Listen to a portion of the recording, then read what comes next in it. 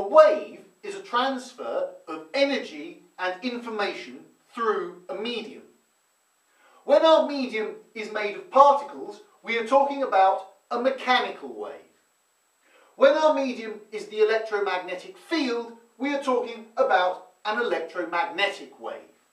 So an example of a mechanical wave would be a sound wave, and an example of an electromagnetic wave would be a light. A wave is generated by an initial disturbance. So,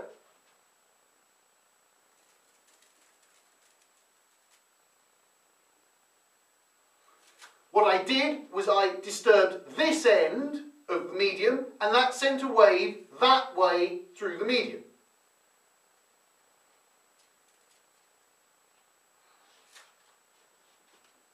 The medium, though disturbed by the passage of the wave, returns to its initial position after the wave has passed. The wave cycle.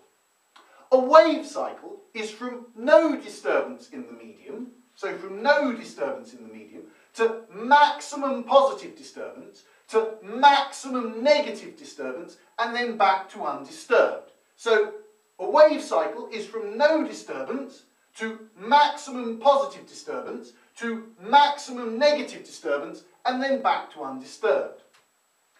The amplitude is the greatest amount of disturbance a wave causes. The maximum positive disturbance is called the peak.